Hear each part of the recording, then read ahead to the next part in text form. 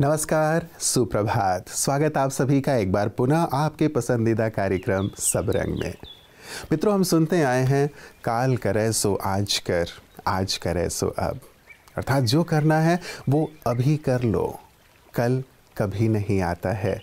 इसीलिए मन में जो भी ख्याल हैं, अच्छे ख्याल हैं, उनको तत्काल कर लेना चाहिए। क्योंकि जब हम कल पहुँचते हैं तो सोचते हैं, अरे, इस कार्य को तो कल कर लिया होता तो कितना अच्छा होता। तो हम जो अच्छा कार्य करने का संकल्प ले रहे हैं, उसे अभी ही करें। अभी नहीं तो कभी नहीं, ये कहा जाता है। तो आइए इसी सुंदर और श्रेष्ठ दृढ़ संकल्प के साथ आपको लिए चलता हूँ आज के सुवाक्य की ओर। अब से एक साल बाद आप चाहेंगे कि आपने आज ही शुरुआत कर दी होती। करीम लाम दोस्तों, हम सभी जीवन में महान कार्य करना चाहते हैं। भले ही महान कार्य करने का सपना देखना अच्छा हो, लेकिन उपलब्धि त्वरित कर्म करने से ही मिलता है। यह तैयार न होने की भावना या अपर्याप्तता की भावना हो सकती है, जो हमें अभी शुरू करने से रोकती है। लेकिन जब परमात्मा को ही हमारी काबिलियत पर भरोसा है तो फिर हमें जीत हासिल करने से कौन रोक रहा है? परमात्मा कहते हैं किसी भी लक्ष्य को हासिल करने के लिए आपके अंदर हर गुण मौजूद है। लेकिन इंतज़ार नहीं करो। आप जहाँ हो वहाँ। जो आपके पास है उसको लेकर आप जो कर सकते हैं वह करो। अभी नहीं तो कभी नहीं। कहते हैं, यदि हृदय में ईश्वर को बसा लो तो कभी भी हृदय घात नहीं होगा।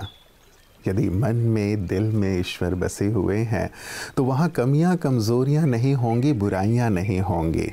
और यदि बुराइयाँ नहीं होंगी तो मन में व्यर्थ के, चिंता के भाव पैदा नहीं होंगे स्ट्रेस नहीं होगा। क्योंकि यही तो कारण है हमारे हृदय की गति को रोकने के। तो आपका हृदय कैसे संपूर्ण स्वस्थ रहे, इसी की सुंदर टिप्स लेकर आज हमारे बीच आ रहे हैं डॉक्टर गुप्ता जी, आपकी सेहत आपके हाथ में। आइए सुनते हैं। Om Shanti, good morning friends. Heart, दिल दिल है कि मानता ही नहीं, आपने सुना होगा। ये दिल क्या चीज़ है? दिल हमारे शरीर का मुख्य अंग है, जो एक मिनट सत्तर बार धड़कता है। अर्थात एक सेकंड से भी कम समय में एक बार सारी बॉडी में खून, ताज़ा खून की सप्लाई कर देता है और गंदे खून को वापस आके हार्ट में, हार्ट से लंग्स में भेज देता है। तो ऐसी वंडरफुल मशीन है जो कभी रुकती नहीं, दिन रात चलती रहती है। अगर इसमें कुछ हो जाता है तो क्या होता है? आज हार्ट डिज़ीज़ जिसको हम कॉर्नरी हार्ट डिज़ीज़ जिसको एंजाइना और हार्ट अटैक के नाम से जाते हैं, जानते हैं, ये वर्ल्ड का नंबर वन किलर है। लगभग हर देश में 30 परसेंट हार्ट लोगों की मृत्यु इसी कारण से होती है। और ये जो है बीमारी, इसके मुख्य कारण कुछ तो साइकोलॉजिकल रीजंस हैं। जो लोग जल्दीबाजी करते हैं, उनको तीन गुना अधिक हार्ट अटैक्स होते हैं। जिनको चिंता अधिक करते हैं, उनको दो गुना अधिक हार्ट अटैक्स होते हैं। जो लोग अधिक गुस्सा करते हैं, उनको साढ़े तीन गुना अधिक हार्ट अटैक्स होते हैं, जो उदास हो जाते हैं, उनको भी ज़्यादा हार्ट अटैक्स होते हैं, और जो लोग अपने मन की बातें शेयर नहीं करते हैं, अपनी टेंशन को शेयर नहीं करते हैं, लोग कुत्तों से भी शेयर करते हैं तो भी हार्ट अटैक कम हो जाते हैं। जो लोग शेयर नहीं करते, उनको तीन गुना अधिक हार्ट अटैक्स होते हैं। आपने सुना होगा, एक कहावत को सुना होगा, अगर दिल खोल लिया होता यारों से तो ना खोलना पड़ता औजारों से। तो दोस्तों, अपने दिल की बातें, अपने साथियों को अपनी वाइफ को या हस्बैंड को या अपने बच्चों से ज़रूर शेयर करें तो आपको हार्ट की बीमारी नहीं होगी। साथ साथ अपना ब्लड प्रेशर अधिक होता है, उनको तीन गुना अधिक हार्ट अटैक्स होते हैं। डायबिटीज़ वालों को तीन गुना अधिक हार्ट अटैक्स होते हैं। अगर आप धूम्रपान करते हैं तो आपको तीन गुना अधिक हार्ट अटैक्स होते हैं। तंबाकू खाते तीन गुना अधिक हार्ट हार्ट अटैक्स होते हैं। अगर आप एल्कोहल लेते तो भी अधिक हार्ट अटैक्स होते हैं। अगर आपकी फैमिली हिस्ट्री तो तो भी आपको ज़्यादा हार्ट अटैक्स होते हैं। अगर मोटापा है तो दो गुना अधिक हार्ट अटैक्स होते हैं। तो दोस्तों, इनका सही इलाज करें, सही निवारण करें, सही भोजन खाएँ, समय पर खाएँ, सैर करें घंटा सुबह सनराइज के बाद प्रॉपर नींद करें तो आपको इन बीमारियों से मुक्ति मिल सकती है और मन को ठीक करने के लिए मेडिटेशन का प्रयोग करें। ओम शांति। मित्रों, आपका दिल हमेशा तंदुरुस्त रहे, इन्हीं शुभकामनाओं के साथ आइए, अब आपको लिए चलता हूँ मैं दिल वालों की नगरी दिल्ली में।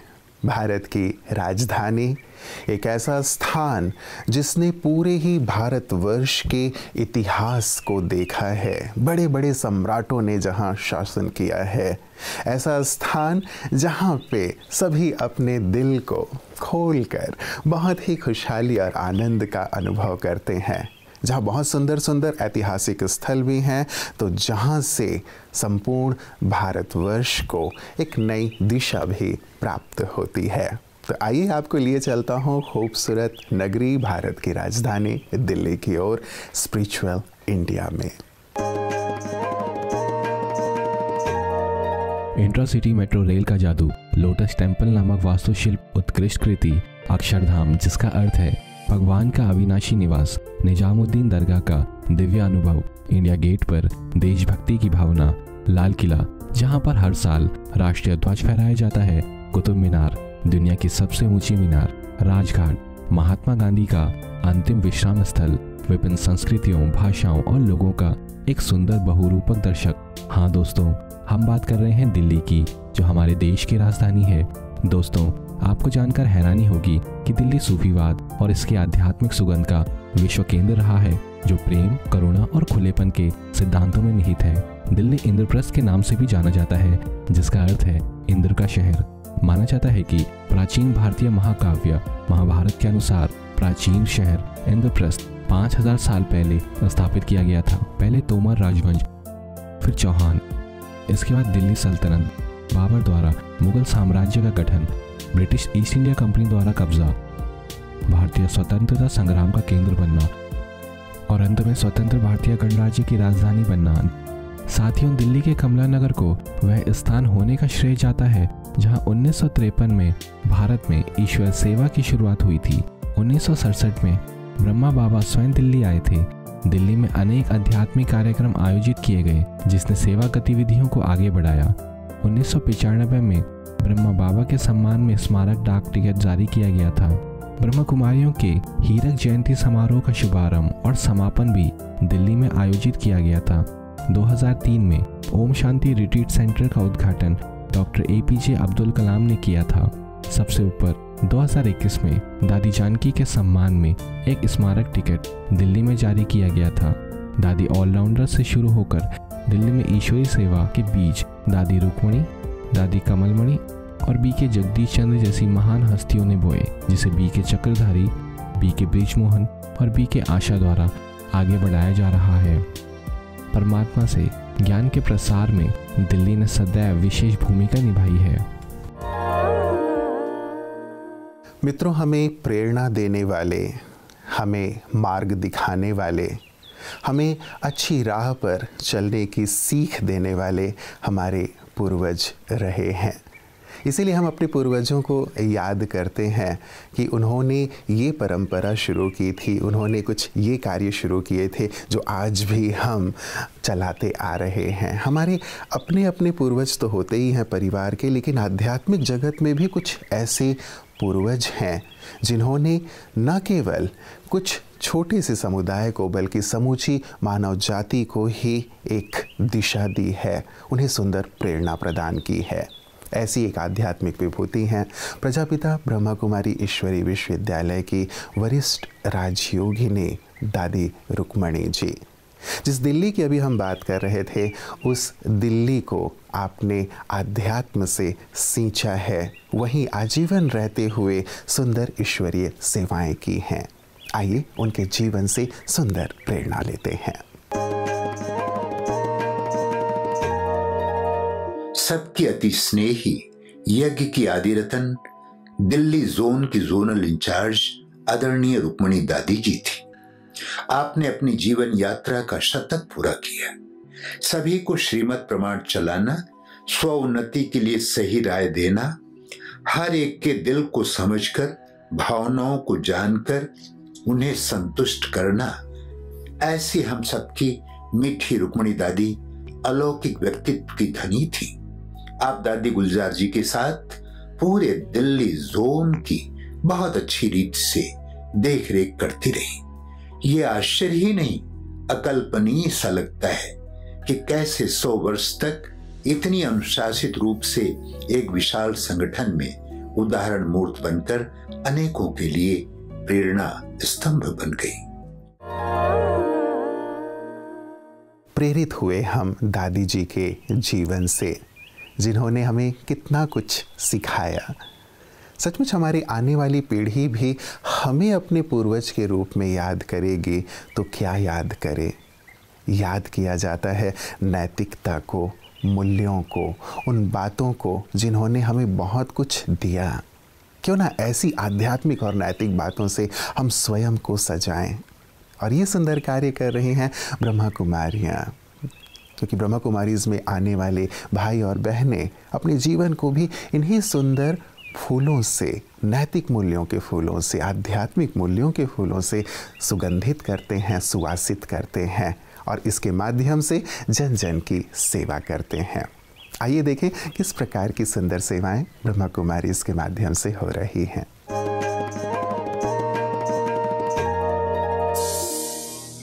सभी ब्राह्मण आत्माओं के लिए संगम युग का सुनहरा अवसर। बाप समान संपन्न और संपूर्ण स्थिति बनाने के लिए अव्यक्त मास की विशेष सौगात। ग्लोबल योग तपस्या भट्टी 16 जनवरी से 18 जनवरी तक तीन दिन विशेष ज्वालामुखी योग तथा अंतर्मुखी तपस्या के साथ आइए करें स्वयं के संपूर्ण स्वरूप का आह्वान। अपने पूर्वजों के पद चिन्हों का अनुसरण करते हुए तीन दिन सभी कर्तव्यों और सेवाओं से मुक्त होकर उस एक की अव्यभिचारी ज्वालामुखी याद में आइए तपस्या के शक्तिशाली वाइब्रेशंस फैलाएँ। दिनचर्या की शक्तिशाली शुरुआत करें। प्रातः तीन बजे से पाँच बजे तक कमेंट्रीज के साथ पावरफुल योगाभ्यास।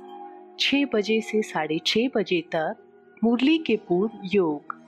साढ़े छः बजे से साढ़े सात बजे तक मुरली क्लास। साढ़े सात बजे से आठ बजे तक मुरली के पश्चात योग। साढ़े दस बजे से ग्यारह बजे तक महारथी आत्माओं की अनुभव युक्त शक्तिशाली क्लास। ग्यारह बजे से बारह बजे तक अव्यक्त मुरली मंथन द्वारा विशेष किसी एक ज्ञान बिंदु पर योग अभ्यास। साढ़े तीन बजे से साढ़े चार बजे तक कमेंट्री द्वारा आत्मा की भिन्न स्टेजेस का शक्तिशाली अनुभव। साढ़े पाँच बजे से साढ़े छः बजे तक चलते फिरते मनन चिंतन करते हुए योगानुभूति। साढ़े छः बजे से साढ़े सात बजे तक संपूर्ण विश्व में शांति और शक्ति की लहरें फैलाना। साढ़े आठ बजे से साढ़े नौ बजे तक बाबा की गोद में दिन भर की दिनचर्या सुनाते हुए सुंदर योगाभ्यास मित्रों, नैतिकता का पथ, सत्य का पथ कठिन अवश्य होता है, लेकिन इस मार्ग पर चलने वाले की जीत अवश्य होती है।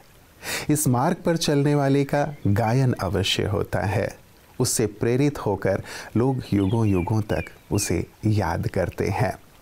इसीलिए भले ही हमें लगता है कि आज के युग में, आज के दौर में सत्य पथ या नैतिक पथ या आध्यात्मिक पथ थोड़ा कठिन है, लेकिन यदि इसे अपना कर देखें तो जीवन सुवासित होता चलता है। शक्तिशाली हम बनते चलते हैं और औरों के लिए प्रेरक बनते चलते हैं। और ये भी कहा जाता है कि सत्य के साथ हमेशा ईश्वर होते हैं। सत्य की नाव हिलती डुलती अवश्य है, लेकिन डूबती कभी नहीं। इस बात का पक्का वायदा स्वयं ईश्वर करते हैं। तो क्यों ना हम भी सत्य पथ पर चलने का दृढ़ संकल्प करें, अच्छी बातों को जीवन में लाने का दृढ़ संकल्प करें, तभी जीवन श्रेष्ठ बनता चलेगा और हम औरों के लिए प्रेरक और आदर्श भी बनते चलेंगे। आज के लिए इतना ही। दीजिए इजाज़त, कल पुनः आपसे इसी वक्त सब रंग में मुलाकात होगी। नमस्कार, ओम शांति।